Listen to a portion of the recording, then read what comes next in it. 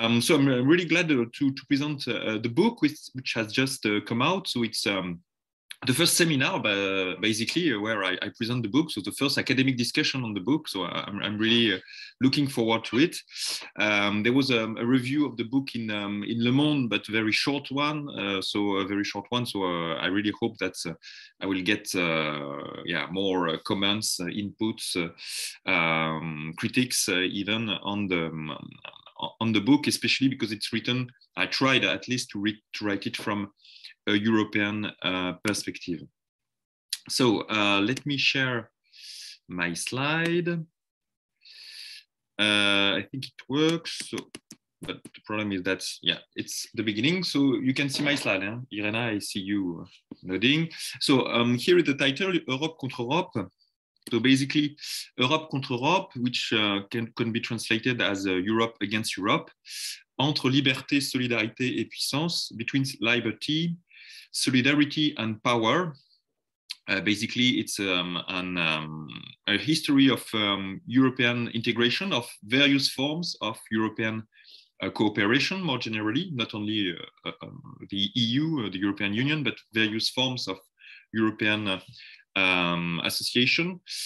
attempt also at common policy between 1945 and today. so you can see the, the, the cover, so that's why the cover um, uh, refers to the, to the, to the Brexit uh, talk because uh, this is also part of uh, the book at the, at the, very end of the book i mentioned the, the brexit and uh, also the covid-19 crisis uh, and you can see this picture about the, the post-brexit quarrels in the uk with ironically the, the, the pro, the pro let's say the, the, stop brexit guy looking a bit like nigel farage but it's of course, a coincidence.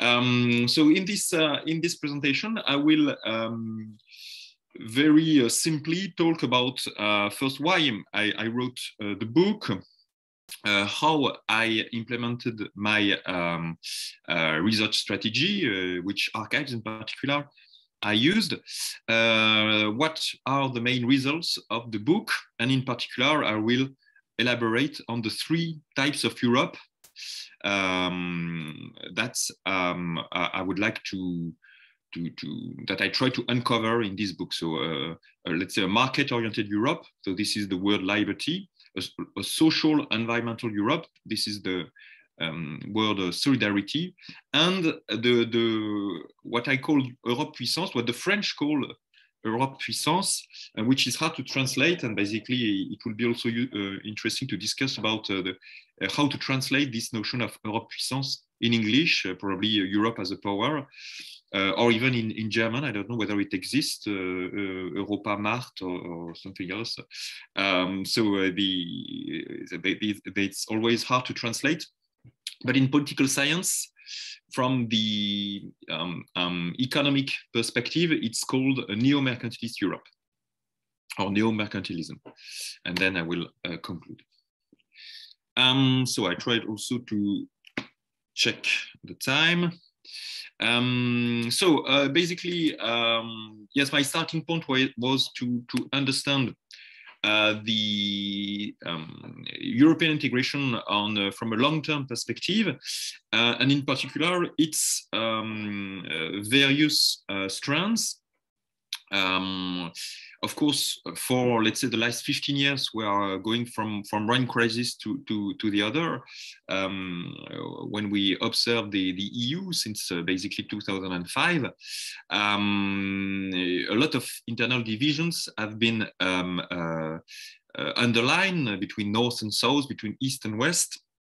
And so uh, I, I thought that um, uh, it, it, it would be useful to use history as a lens to try to, to make sense of those different forms of uh, Europe, uh, different forms of European uh, cooperation. Um, so that's why I wrote this book um, on the long term, with long-term perspective, trying to identify what was original or not uh, in terms of European economic policies.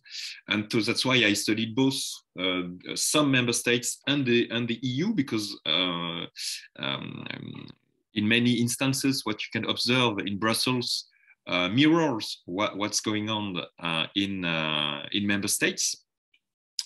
Um, I try to take into account and to illustrate the diversity of those different practices and to, to go beyond the intergovernmental uh, versus federal debate, even though I take uh, this debate into account, I think it's not um, uh, old fashioned. It's really at, at the core of uh, uh, the, the specificity of European institutions. But I think um, I tried, at least in, in this book, to um, illustrate a new way to understand those uh, different conceptions of Europe um, not from an institutional point of view, but from an economic and social uh, perspective.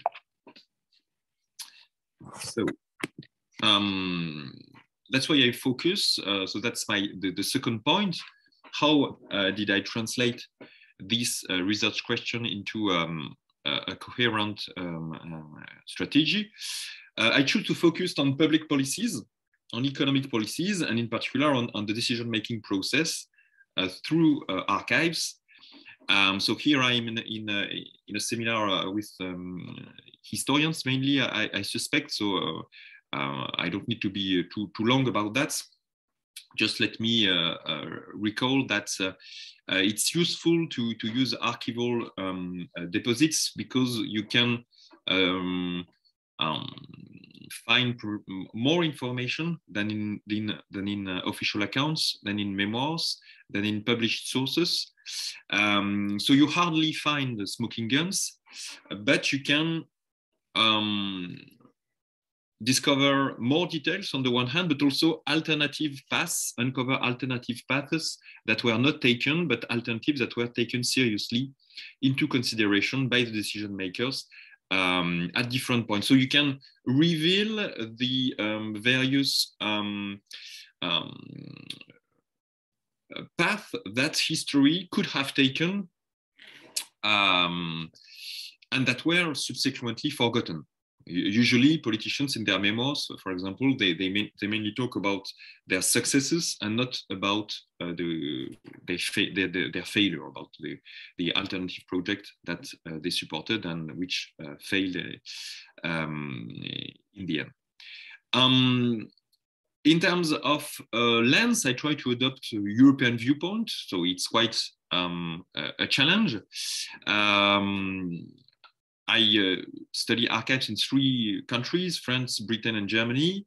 I took into account other international organizations um, in order to, to be, uh, um, in order to provincialize Europe, as uh, Patel uh, uh, said, uh, in order to consider the, the, the, European community and the European Union as one organization among others, one international organization among other, taking into account that the, the, the, the uh, organization of European cooperation on the European continent could have occurred through the, the UN or through the OECD or through other kind of organizations.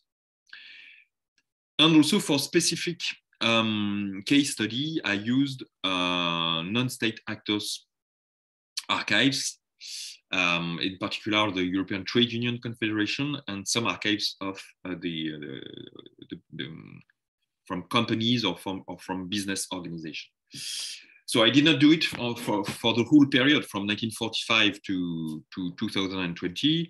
First, because there are no archives uh, on the 1990s and um, the, the, 21st century mostly, but also because it would have been um, uh, impossible to, to manage.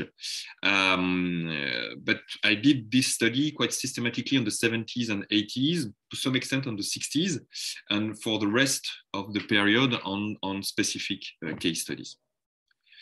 So on the whole, I used archives in eight countries, a lot of literature, of course. Uh, this book is also an attempt to uh, make public uh, the, the, the, work of many uh, historians of Europe and historians of European integration, um, which has not caught the, the, the attention of, um, of many uh, um, of many colleagues of the academic world, in my opinion, not enough at least.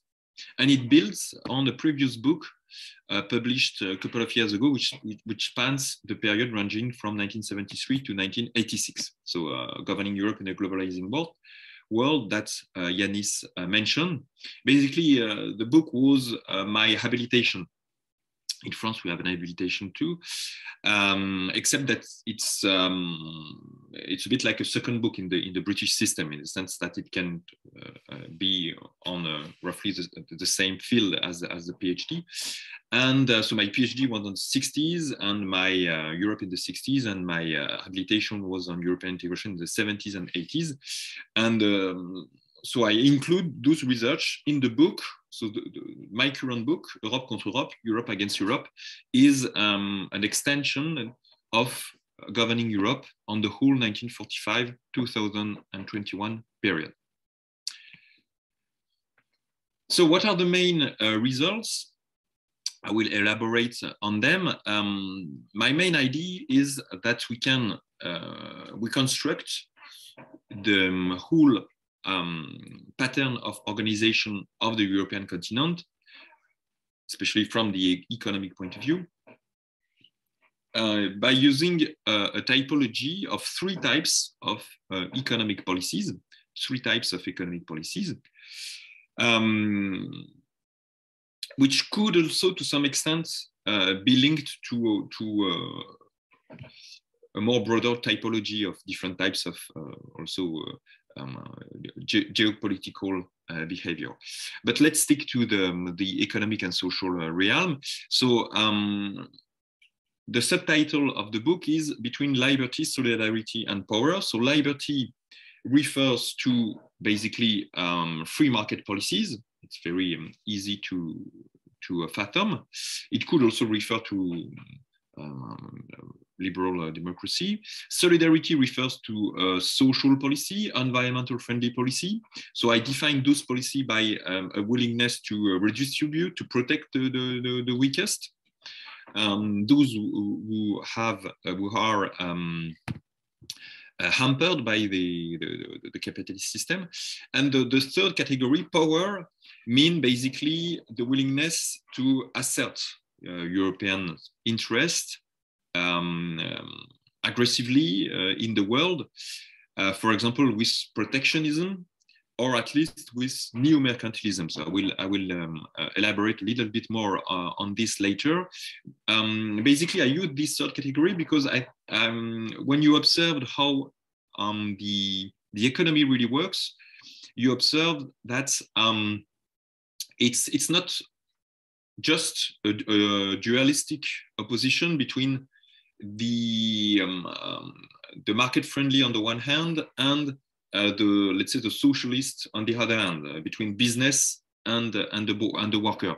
Because um, in many instances business actually um, do not want more free market but want to be protected too um, and here you, you feel the need for a third category when government protects business, not for uh, protecting uh, workers first, but uh, mainly to, to assert um, the industrial potential of one's, uh, of one's country or, or of one uh, community. So in this sense, power is linked to uh, nationalism um, and hence the link to protectionism of course, it depends to what extent you, you, you implement those uh, three um, categories. I will uh, come back to it later. And of course, um, while I um, uh, embark on, on this journey um, studying the economic and social policies of uh, Europe from 1945, I learned a lot about uh, how European institutions actually worked, and so that's why I also proposed uh, some um, um, my own conclusion about uh, um, uh, how the, the European Union uh, has worked since 1945, or European institutions in general, not only the EU. So let me turn now to the three um, models. Uh, so I use models uh, not uh, for love of acronyms, but or for the, the, love of concept, but just in order to ease the comparison and to avoid mere chronological accounts of events. At some point, I was drawn um, under so many um, actors, events, um, discovered in many different countries. Uh, that's I wanted to make sense of it by using category that could describe what occurred in different countries uh, at different times, but that referred to the same um, the same economic approach. So either uh, free market to, to boost growth, so the market oriented, uh, or to protect the weakest, but also the, the, the, the third category, to uh, tinker the market, not to protect the weakest, but to protect the producers, to protect uh, the, the, the, more, uh, the more uh, powerful, if you want and to protect one's own uh, community. So, the, so that's why those models are uh, anachronistic by, by, nature. Um, it's simply, but I think they are useful. It's the same as the, the, the um, uh, ideal type defined by Max Weber um, precisely in order to make sense of complexity. So those models um, also have radical uh, variants. So, uh, for example, if you um, uh, want to tackle the case of neoliberalism, and here you have a picture of Reagan and Thatcher, of course, uh, you can, um, of course, link neoliber neoliberalism with, with the first version. And for me, it's uh, a radical version of the, the market-oriented uh, category. Um, so here there's the, a debate how to differentiate the neoliberal with the, uh, let's say, the, the more moderate uh, market-oriented decision makers, perhaps because the neoliberals in particular target the welfare state. They want to retrench the welfare state um, uh, using um, the title of a famous book by Paul uh, Pierson. And by the way, each of the three categories has radical um, variants. So for solidarity, of course, it could be the Marxist socialist society. Um, and for neo-mercantilism, the, the extreme form of neo-mercantilist uh, policy is um, was uh, sorry the, the, policy waged by um, uh, many countries in the 1930s, especially um, nation, National Socialist uh, Germany, with extreme protectionism linked to nationalism. But of course, uh, we should not uh, blur the distinction between the radical forms and the more moderate form of neo-mercantilism that I will uh, describe in this paper. So this is just food for thought, how to basically use the, um, the typology I used uh, in the book, in Governing Europe and in Europe contre, contre Europe, for um, other instances, uh, for other case studies uh, of uh, at least the 20th century. Um, so here is um, a graph to try to, to synthesize the, the triangle of um, economic and social policies and um, their uh, uh, their radical variant um, at the, the, point of the, the three arrows.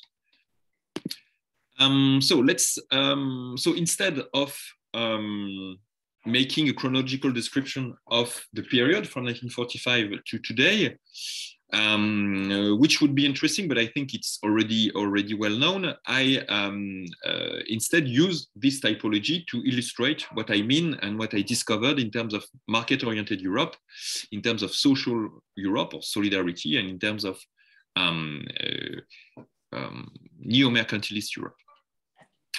Um, first, so um, the market-oriented Europe, of course, was um, has been uh, at the at the core of the process of European integration. It's not really new uh, with the common market, the single market, European and monetary union, of course.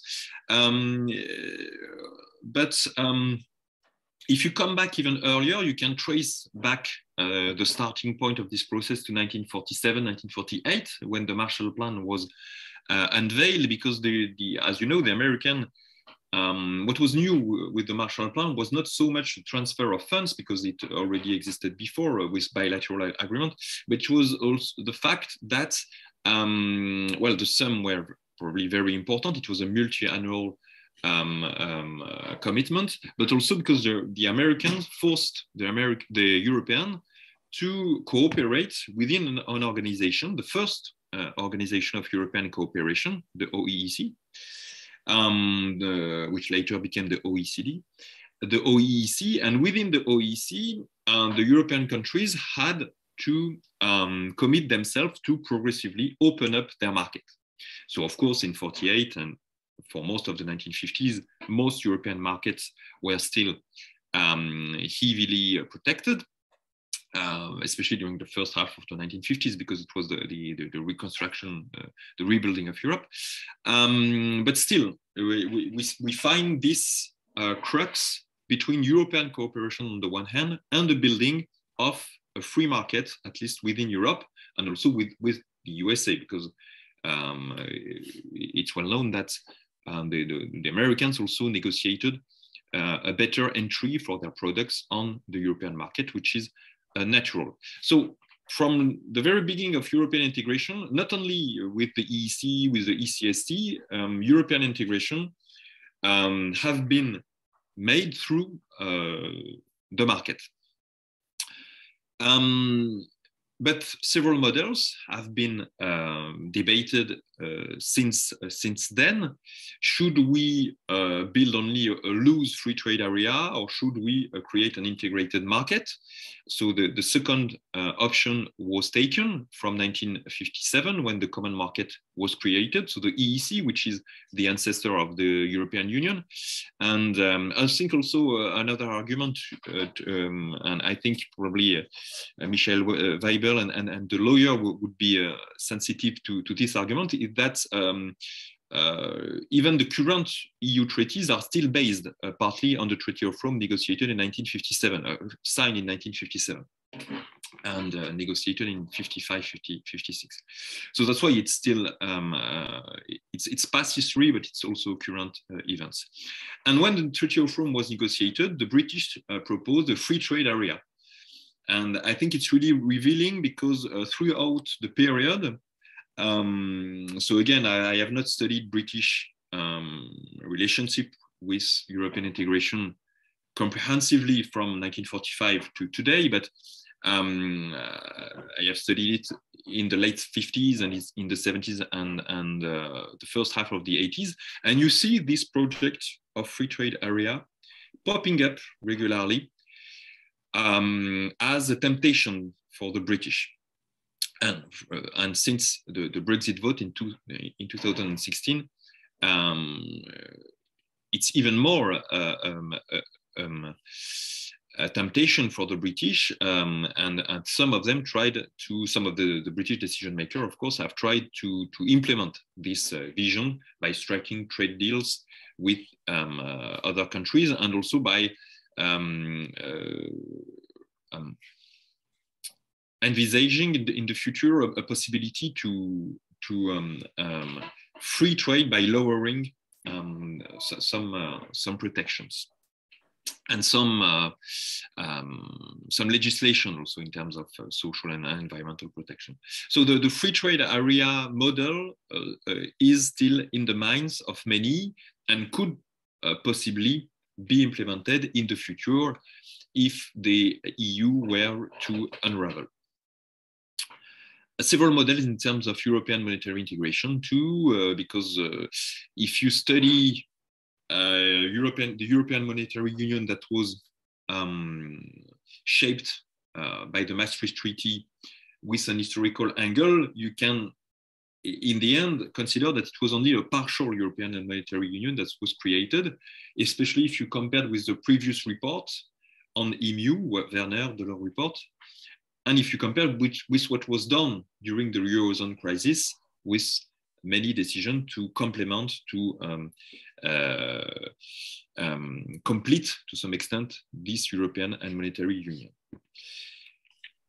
Um, beyond those um, big debates, uh, I can also um, um, pinpoint some specific new findings on the history of competition policy and neoliberalism. So uh, I, I, made a lot of uh, research on the history of competition policy, the role of the ordo liberals, the role then of the um, uh, officials, uh, which were more geared by um, um, a US vision of, of uh, antitrust policy.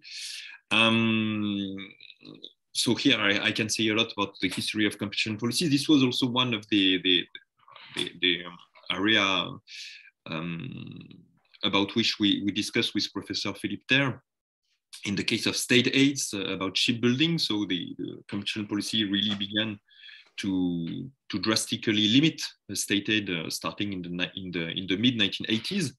And I argue that it was part of the neoliberalization of, of, of, Europe to some extent.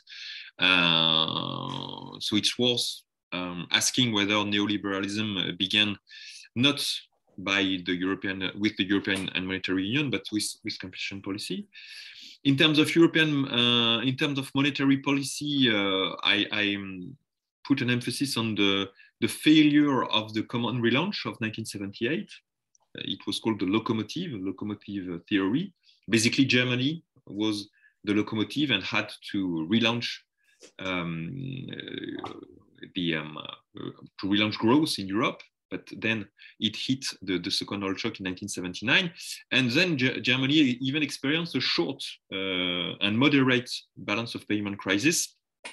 Uh, but I found in the Bundesbank archives that it was quite a traumatic event for, uh, for them. So basically, I'm not reinventing the history of EMU, but I, am just uh, providing a few, uh, a few um, more hints and basically the book contribute to the history of neoliberalism that I try to um, to differentiate uh, from classical market-oriented policy, which is not always easy. And of course, there's a whole debate about whether the ordo liberals in competition policy were neoliberal or not. By the way, I use the term ultra-liberal in French, uh, but the term neoliberal exists too. So this, this, is, this is also something we can discuss.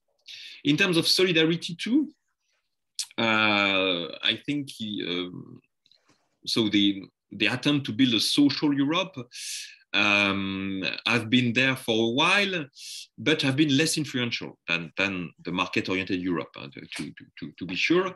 Uh, so that's why I, I um, said in the, I wrote in the in the in the slide that it was a more piecemeal um, attempt again, it's it's there since 1947-48 because the Marshall Plan in, in itself was uh, a manifestation of solidarity. So for, of course, for geopolitical concerns, but well, you, you cannot rule out also the, the, the moral implication.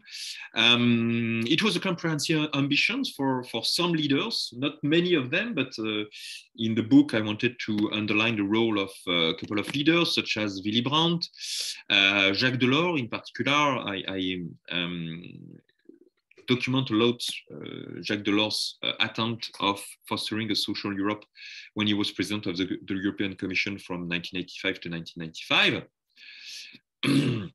and in the end, uh, the as you know, um, social Europe um, has been implemented mainly through regulations, um, so laws, directive, regu regulations, in terms uh, in in very specific areas that were covered by the treaty. So again, it's the Treaty of Rome of 1957, which covered gender equality, uh, even if, if, if, it was not called uh, gender equality in those days.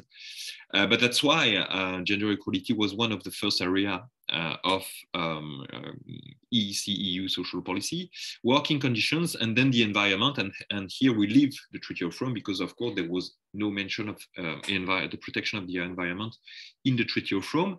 And um, uh, the, the field of environment is very important for countries uh, like mine, like France, because um, what I found, and I want to dig uh, more into um, EU environmental history uh, in, in, in, the future. we have a common research project with Kiran Patel uh, on this, on European uh, environmental policies in the, in the 80s and 90s. Because for a country like myself, you, you can argue that um, uh, parts of uh, the, the, the, current French environmental legislation uh, comes actually from, from European debates and European institutions. And you are left wondering whether without the EEC EU, the, the, the, the environmental uh, law uh, would have been as constraining as they are in France. Um, because most of the, the, the, actors that were the, the the, the more efficient in terms of uh, environmental policy came from uh, Northern Europe. um, targeted redistribution uh, is nevertheless has nevertheless been important. So you think of the Marshall Plan, think of uh, but then the Marshall Plan ended up uh, in uh, 52, 53. There was a gap, uh, but in 75, uh, regional policy was created only with a limited amount of funding at first. But then um, in the 1990s, 21st uh, centuries, um, it was um, bolstered, strengthened, and played a big role first to help Southern Europe, Ireland, and then Eastern, uh, Central and Eastern uh, Europe. And here I refer to, to Philippe Ther's book, uh, which very convincingly compare Poland with Ukraine, whose GDP per capita were uh, relatively similar in 1990 and of course which are uh, profoundly dissimilar uh, today so i, I, I um, kept the, the comparison in, in, in the book uh, here are a, a, couple of new fin findings in my book, uh, European planning, democratizing multinationals, so the, the whole battle about the Vredeling Directive, uh, which has been also tackled by other researchers than myself, such as Aurélie Andry and Francesco Petrini. so the, the Vredeling Directive was a, a really interesting moment because they, it was uh, one of the first time that um, the lobbying of multinationals and the lobbying of uh, trade unions was uh, visible. Uh, within European institutions. I studied a bit uh, car emission uh, di uh, directive, and here too, France was a bit reluctant to, to adopt um, uh, environmental friendly uh, regulations. Um, and above all, what I observed to account for the relative, the relative uh, failure of social Europe or the, the, the, weak development of social Europe, or let's say the modest development, because my, my book argued that there, there was some kind of, of social Europe. basically, I um, can explain this relatively modest development by, uh, well, first the fact that, of course, the, the welfare state was uh, developed at, at, the nation state level and it rests on a, a strong sense of uh, community, uh, of, of the, the, national community. Um, solidarity rests on, on uh, on the sense of belonging. But I can also explain it by the division of the social coalition. What I observed was, uh, in particular, a lot of differences between Delors and Mitterrand. Uh, so Delors was the, the president of the European Commission in Brussels. Mitterrand was the French president. Both were French, both were socialists, but they were not at all, or not uh, completely, at least on the same wavelengths. And also, there was no, uh, no, hardly ever a united front between Paris, Rome, Madrid. So the southern European countries uh, have never um, been able to create a strong and uh, permanent uh, coalitions. Coalition. Um, the linkage between uh, those countries has never been as strong as uh, the, the, the Franco-German couple, which has, or the Franco-German motor, uh, as you say in German, uh, that have been um, really influential from time to time and, um, well, all, always there to, to some extent, even even during the the um, the lowest uh, point of the Franco-German relationship. And then um, Power Europe, so neo-mercantilist Europe, so basically, what does it mean? From the economic point of view, it means organizing Europe um, in terms of um, industrial policy, in terms of trade policy, uh, waging a more aggressive trade policy, uh, not a protectionist one, but uh, a less free trade uh, policy, uh, try to really organize the market and not simply um, count on uh, free market globalization to, um, to um, propel growth. Um, so here, this dimension was confined mostly to nation states, industrial policy in particular, but we see um, some um, decision made at, at, the European level, some uh, some expression of this this uh, willingness to um, organize the economy. Um, in order to favor European producers. you see it through first trade negotiations. So the EU have tried to alleviate protectionist tensions with the US since uh, the beginning. Um, an interesting example too, uh, I, I saw uh, Anne-Isabelle Richard among the, uh, among the listener is the, the, the, attempt to organize Eurafrica, to, to, to organize a relationship between Europe and some of its former colonies in Africa and elsewhere with specific trade agreements that rely not only on free trade, but also on specific um, uh, um, specific perks for um, the, uh, the, the poorest countries, especially uh, the, the Lomé 1975 agreement was ex extremely interesting because it contained um, the STABEX uh, fund, which was designed to um, um, um made the um, uh, export revenues of the African countries more regular. It was uh, basically um, a buffer fund intended to um, increase, uh, to prop up the, um, the uh, African export earnings uh, during period of uh, low prices. So it's typically a neo-mercantilist tool because it is there not to uh, counteract the market, but to um, control it, regulate it in um, favor of the, the producers.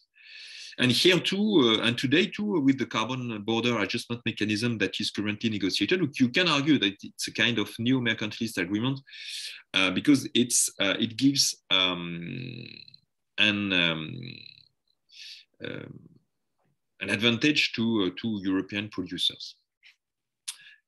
Uh, in the past, there have been also policies at the European level to protect traditional manufacturing, so mostly regarding steel and car making, uh, more than in textile and even more than in shipbuilding. Here, uh, I also referred to uh, um, what I mentioned before.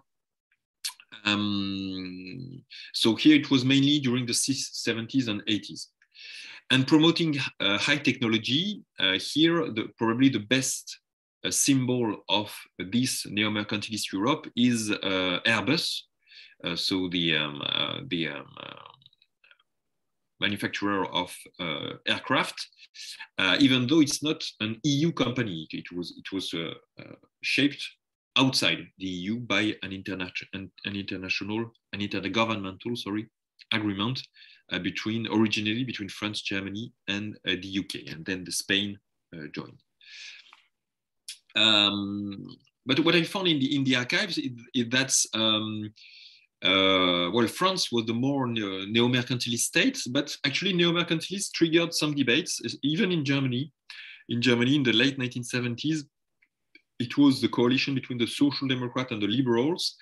And whereas some liberals, such as Lambsdorff, were um, extremely hostile to this type of policy, Lambsdorff uh, probably embodies the, the neoliberal camp uh, in this government.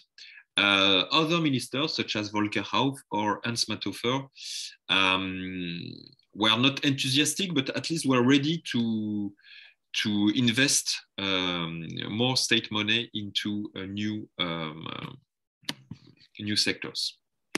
So it was computer and so on. So here you have Airbus with the, the Airbus Beluga, which uh, symbolize also uh, um, the European um, uh, mode of production, um, because pieces of, of different planes were moved around the different production sites.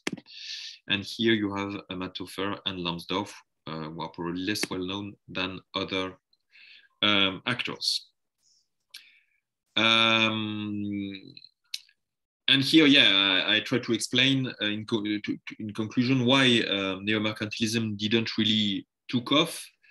Uh, first, because it was difficult to implement in practice, uh, because as you can see with the Airbus model, if you pour money um, in a common project, you expect as a member state, as a company, uh, or as, even as a trade union, you expect uh, some return in terms of employment.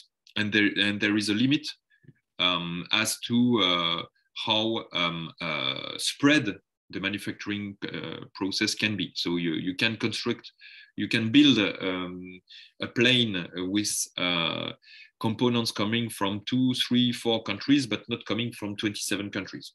Um, so basically, the, the, this is the issue of the, the return in terms of investment. There is also the, the issue of what was called the European preference, how to, how to define a European company.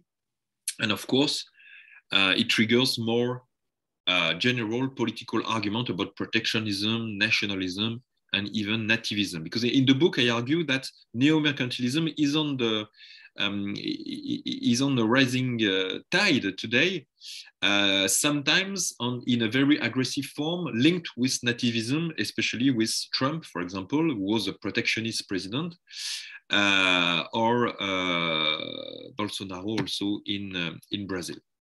So you can be neo-mercantilist in different uh, fashion, of course. supporting Airbus is one uh, one way of being neo-mercantilist because Airbus was developed thanks to um, important national state aids. Um, so you can argue that it was a protectionist venture during its first um, uh, 25 years. But you can also be neo-mercantilist uh, while promoting uh, chauvinism. Um, so to conclude, um, in terms of, so the two two main conclusions uh, again uh, conclusion in terms uh, of uh, the, the three models of europe. But first let me uh, just elaborate a little bit on uh, what i wanted to no what i discovered in terms of the, the way european integration worked. So first i wanted to to study the project of europe by all uh, actors um, uh, without uh, thinking, without considering that they are just good or bad Europeans. So that's why I, I put an emphasis in the book on the various projects developed by Margaret Thatcher uh, in between 80, 83 and 87, Thatcher was really um, proactive um, in the European community, even if she did not portray herself as a good European because especially for a, for a domestic audience, it did not uh, play well. Um, same for, for, for De Gaulle, uh, for example. Uh, inertia and change. So I try to show in the book that, of course, there is there's a lot of inertia in European institutions because basically they, they are built to avoid uh, radical change. They are built to avoid uh, the, domination by one actor. So, so change is quite difficult, but it can occur. And I would even argue, uh, argue that some change is uh, more likely to happen at the EEC EU level than at the national level. And here again, I can take the example of environmental regulation. Um, again, I think within uh, some national framework, change in terms of environmental regulation is probably harder within um, uh, national arenas uh, because of the power of uh, uh, the structure of power of some political parties or of, of, of some lobbies than at the EC-EU level the role of lobbies, the role of non-state actors. So here um, it's uh, possible to observe the role of uh, lobbies, but uh, from what I've, I've discovered, um, I don't think that lobbies are particularly more influential at the EU than at a national level.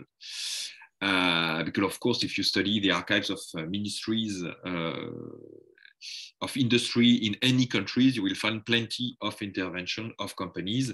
Uh, it's not something which is confined to uh, EU institutions. And then I had also um, a specific conclusion about Germany because uh, Germany is al always referred to as an hegemon, as a, a, really a dominant power, especially since the Eurozone crisis. And I consider that in many ways it was a, a hinge, a central element, but not a dominant power. Uh, in many cases, um, Germany was um, um, uh, more moderate than France and Britain. Uh, so it was easier to uh, agree on its position than on the more radical position on France or on uh, the UK. Probably Germany expected less uh, from EU uh, European integration than France and, uh, and the UK in terms of from the economic point of view. At least for most of the period, and this is um, uh, the, the book deals with um, 60 years, 70 years. And um, yes, to conclude, so the long-term patterns of organization of the European continent, again, um, between liberty, solidarity, and power. And uh, today, and I will, I will finish uh, with that, the, the, the, as I say, neo-mercantilism is on the rise. And uh, I think that today, uh, one of the main issue of the, the of European integration is, is um, whether it, it is possible to, to agree on, on a European neo-mercantilism. And at least uh, that's the, the French perspective, because if you, we, we, are currently under the French EU presidency or the French presidency of the EU Council, I, I should say more precisely. And as you can uh, see, uh, this is a picture of uh, President Macron's discourse uh, on the 9th of December 2021 when he unveiled the, um, the priority of the French presidency. And uh, you have three main words, uh, relance, puissance, appartenance, so, so, relaunch, power, and the sense of belonging. And um, uh, there have been also a lot of emphasis on puissance. Uh, but how to translate this um, project of European power uh, from words to deeds is another uh, matter. So thank you for your attention, and I'm glad to answer your question.